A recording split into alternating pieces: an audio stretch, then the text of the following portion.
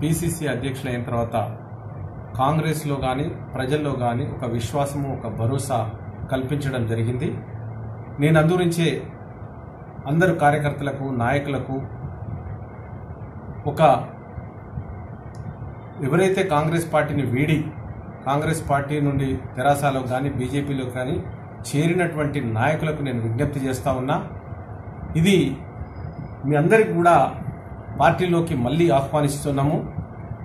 గర్వాప్సీ programme అని రేవంత్ రెడ్డి గారు ప్రకటించినారు కాబట్టి అక్కడ మీరు అవమానాలు చీత్కారాలు భరించుకుంటూ ఆ పార్టీలో ఉండేదానికన్నా రెండు వేల ఇరవై మూడు లోపల కాంగ్రెస్ పార్టీ తెలంగాణలో అధికారంలోకి వస్తుంది.